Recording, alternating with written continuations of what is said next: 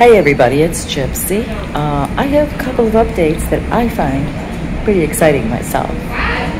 Uh, the first thing is today physical therapy uh, came in to work with me and she had uh, spoken to the ortho doctor and the ortho doctor said while doing physical therapy and working on range of motion we could take off the brace so we did that, and he said to work on moving my knee.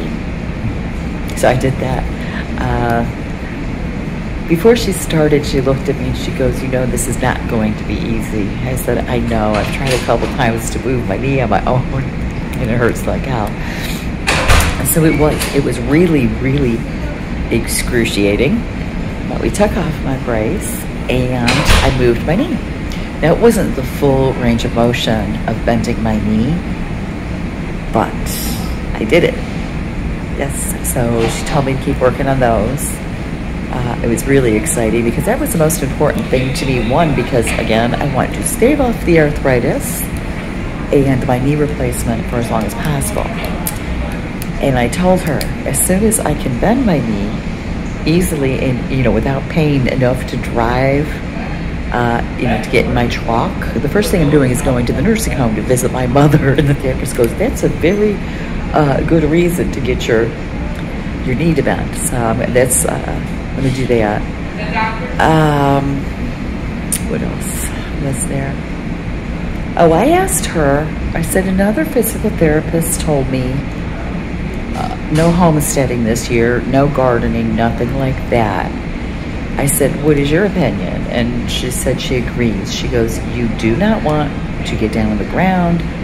Uh, it's going to be too hard to bend your knee that much and then get back up and working the ground and stuff like that.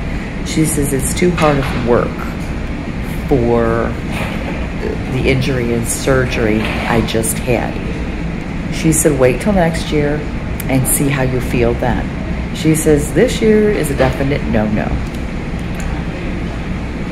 that's uh, very disappointing to me because it's my, been my dream to do a homestead and for some reason things just keep getting in the way.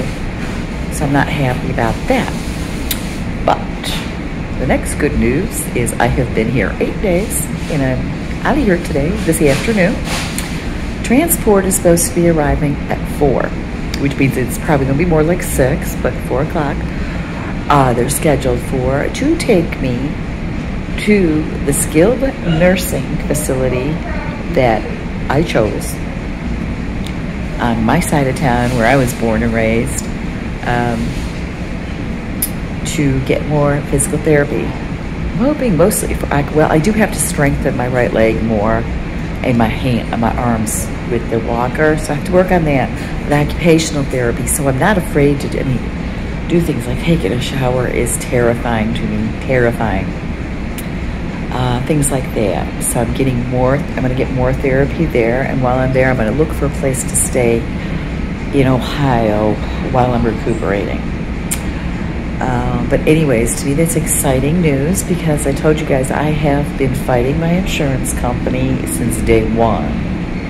My surgeon, after surgery, he said, when you leave the hospital, I want you to go to rehab hospital and then skilled nursing after that. And then you can have outpatient after that. So my, my uh, insurance company may have another fight on their hands after I'm out of here because, yeah, I'm going to fight for that too. Because this is what my surgeon told me after surgery. And they, well, the insurance company thinks they know more than my surgeon and my other doctors. Uh, and they don't. They're not doctors. They, they, oh, they just well, my doctor here, excuse me, the attending doctor, he says to me, Did you tell me you, you were going to drop this insurance company? I said Excuse me. I said, Yes, as soon as uh, open enrollment starts, they're gone. I'm getting a new one. He goes, Good. He goes, Because your insurance company, Humana, he goes, I called them Inhumana. That was funny. But anyway, so I'm going there uh, hopefully, you know, if I, depending on how I feel about my progress when I leave there, I know I'm not going to be there long. Um, I like to get outpatient. I can do that. Hopefully, I'll be driving by that time. I think I will be. So I could go to outpatient, or they could, or it could be in home. I don't know. But we'll just see. I'm just going to see how it goes. But I'm really excited. I'm able to get more. I was not uh, comfortable with my progress, and it was terrifying for me to be out on my own. So, anyways, that's the good news. I get to get out of here and get some fresh air. Um, you know, it's cold in Cleveland. It's a gorgeous day. It's beautiful, but it's only 37 degrees. It looks like it's warmer. Yesterday it was 50. So um, I need to get out. It's starting to get to the point where we're getting more warm days. So I need to get outside. So it's going to be really, really good.